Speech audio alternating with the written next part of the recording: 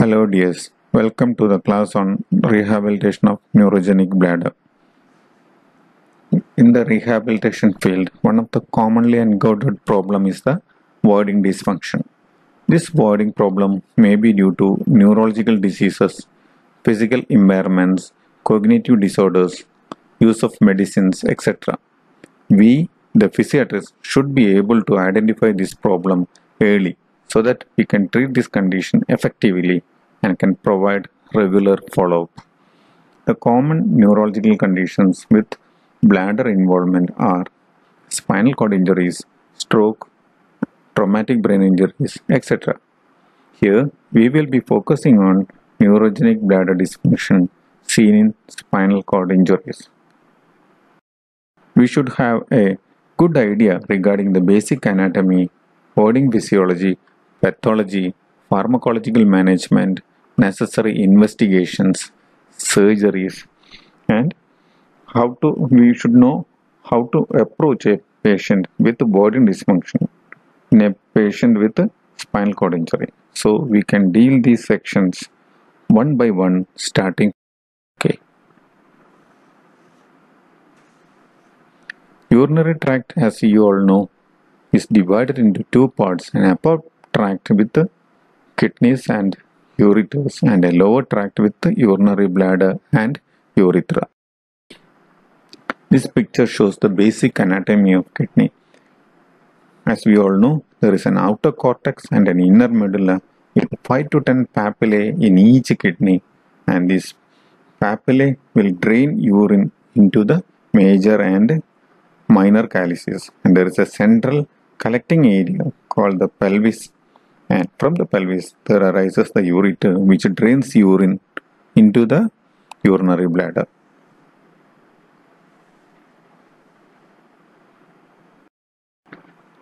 Ureter, ureters are thick muscular tubes which drains urine from the kidneys to the bladder. It has got three parts, an upper part, middle part and a lower part and there are three areas of constriction which are the sites of calculus formation. One is at the pelvic uretral ureteric junction, second is at the pelvic brim and third is at the ureterovesical junction.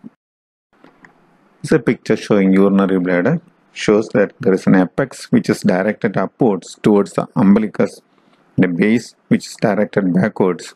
There is a neck which is the lowest and the most fixed part of the bladder. The second picture shows a, trigone which is a small tri triangular area over the lower part of the base of the bladder. The two upper lateral openings are from bilateral ureters and there is a single lower opening is the urethral orifice.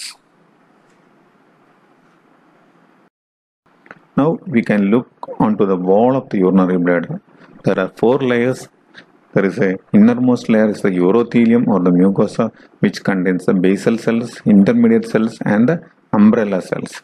The second layer is the submucosa. This contains fibril shaped collagen.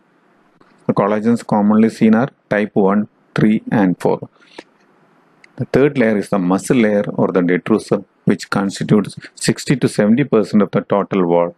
It contains circular and longitudinal muscle layers. Fourth layer is the serosal layer which is outermost layer. This is a histological picture of bladder muscles which shows that muscle fibers are arranged into fascicles in random directions. This was noticed by Danger et al. in 1982. Individual cells within a bundle are connected to the to form a functional syncytium. This architecture is different from the discrete circular and longitudinal smooth muscles in the ureter. This is very important. Now moving to the urethra, male and female urethra. Male urethra has got, will have a length of 18 to 20 centimeter. It has got prostatic, membranous and spongy part. The most widest part is the prostatic part and least dilatable part is the membranous part. And female urethra is 4 centimeter long and it corresponds to the upper part of the upper part that is the prostatic urethra. There are two sphincters. One is external and another is internal sphincter. Internal sphincter actually is not a true anatomic sphincter not responsible for maintaining continence. It is supplied by sympathetic noradrenergic nerves whereas external sphincter is composed of skeletal muscles and it is supplied by somatic pudendal nerves.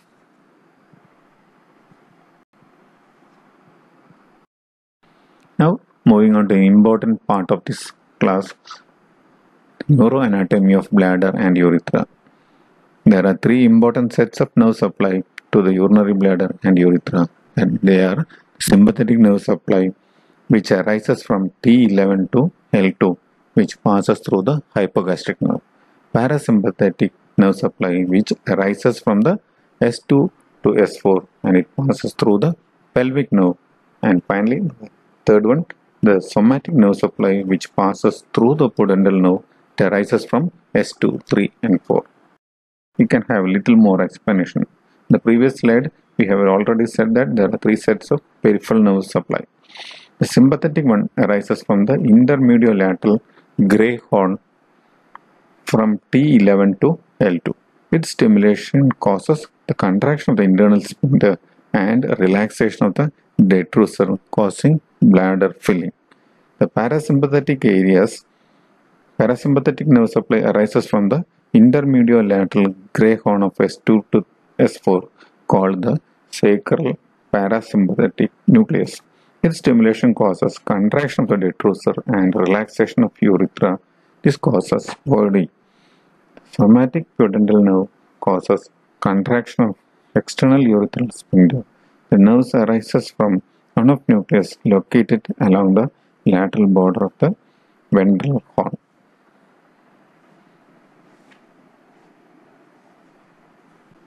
These nerves contains afferent and efferent axons that is sensory and motor.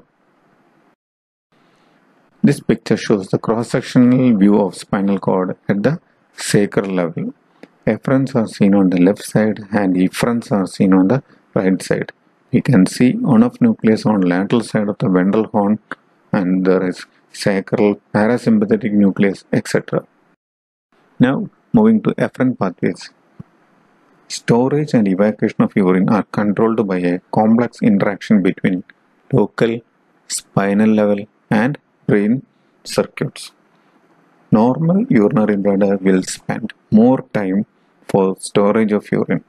During micturition, the detrusor contracts and the sphincter relaxes. This switch relies on sensory signals which passes through the pelvic, hypogastric and pudendal nerves. They are the mixed nerves. Afferent neurons of the pelvic and pudendal nerves are contained or arises from the sacral DRG. The afferent neurons of the hypogastric nerve arises from the rostral lumbar DRG. The dorsal root ganglion neurons, DRG neurons, lumbar and sacral carry the sensory information from lower urinary tract to the second order neurons in the spinal cord. These are the these are the these second order neurons provides the basis for spinal reflexes and ascending pathways to higher brain regions involved in micturition, continence and mediation of sensation. The pelvic nerve afferents are the small myelinated A delta and, and the unmyelinated C axons. The myelinated A delta fibers are, ne are needed in are needed only in the in the normal voiding and they respond in a graded fashion, whereas the unmyelinated C fibers will be silent in the normal voiding. In spinal cord injury, the silent uh, C fibers will get wake up and this causes uninhibited bladder contraction. This is a picture showing the myelinated A delta fibers active in normal patients whereas in unmyelinated unmyelinated C fibers are active in patients with spinal cord injury.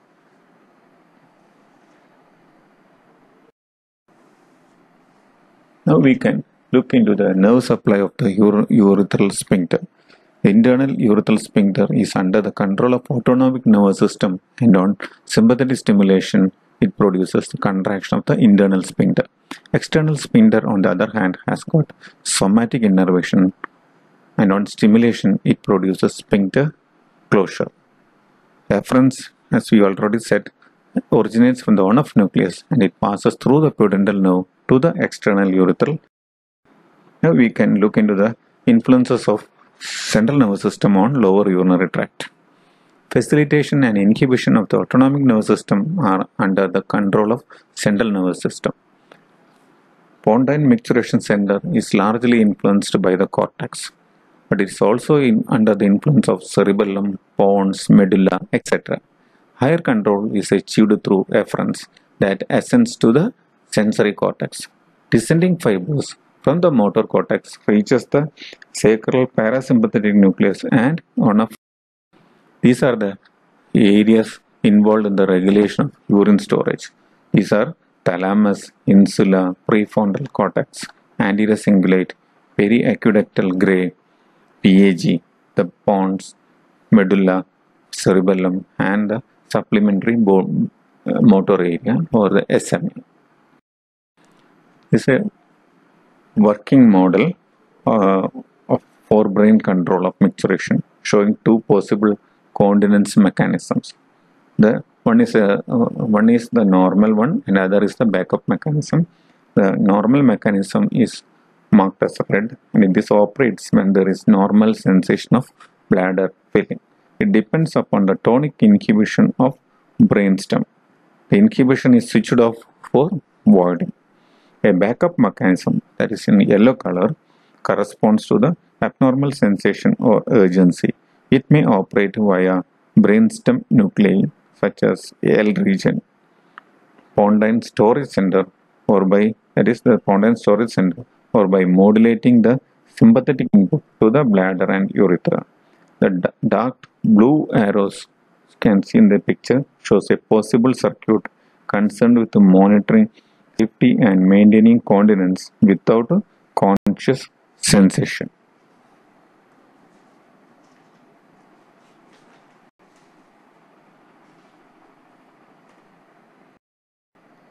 This ends the basic anatomy of lower urinary tract. Next class will be on voiding physiology. Thank you.